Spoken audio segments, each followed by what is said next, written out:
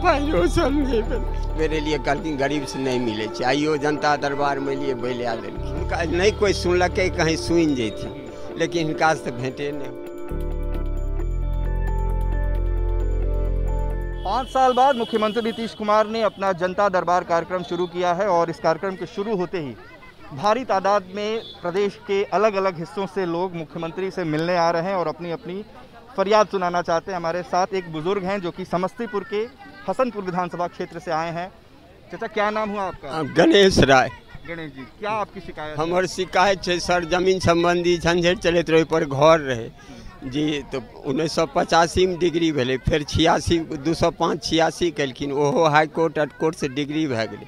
दू सौ पंद्रह एगारह मोकदमा केलखिन। हुनका पर हाकिम एगो जाली सर्टिफिकेट कागज़ देलखिन तऽ केस चलै मोकदमा जाय पर मना देलखिन। बीस पंद्रह एगारह मोकदमा पर नहि जा सकै छै। ओहिमे हमें आर चलि सर।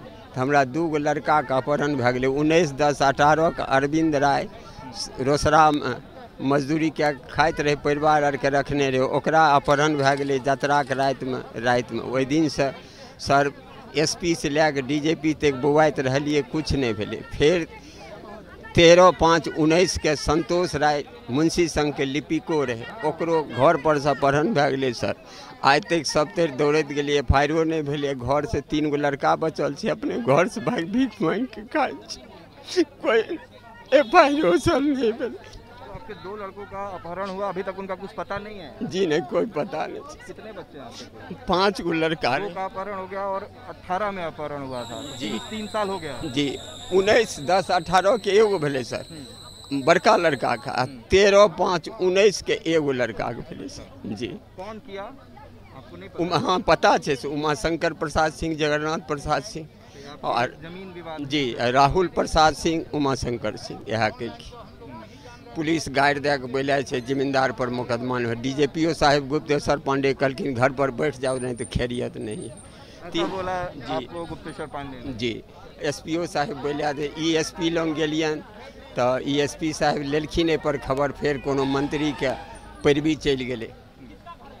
गेलियै दोबारा। तीन छओ के देने रहियन तऽ ऑर्डर केलखिन जे सब कुछ होगा। एक एक बेट, एक बेटे के अपहरण हुए तीन साल हो गए एक के दो साल हो गए। एफआईआर भी अभी तक नहीं हुई? नहीं जी नहीं एफ़ आई आर नहीं भेलै सर। मुख्यमंत्री जी यहाँ छः बेर एलियै कहलखिन गरीब से नहीं मिले छै। आइयो जनता दरबार दरबारमे एलियै बैला देलखिन। मुख्यमंत्री से आप छह बार मिलने की कोशिश कर चुके हैं इससे पहले? जी भेंटे नहीं दै छथिन गरीब आदमी से नहीं मिले छथिन। छओ बेर एलियै सर। आज आप आ, आप फिर आज आए हैं तो आज तो तो मुलाकात कल-। जी नहीं वो कहलखिन जे नहीं हम कलेक्टर के यहाँ जाइए। रजिस्ट्रेशनो करेलिए कलेक्टरों के यहाँ के लिए कल की हमारे यहाँ कोई चिट्ठी नहीं है।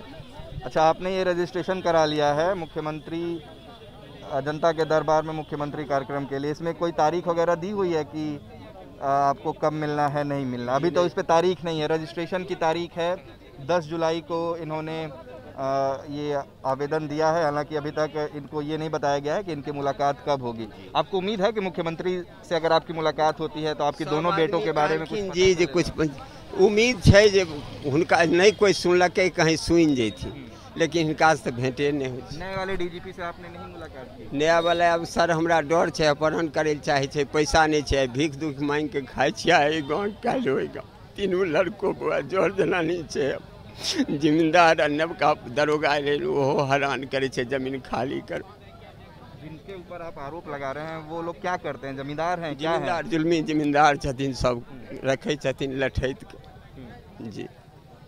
हमरो आरके चाहे छथिन मारि खत्म दी। तो ये हसनपुर विधानसभा क्षेत्र से आए हैं जो कि तेज प्रताप यादव की विधानसभा क्षेत्र है।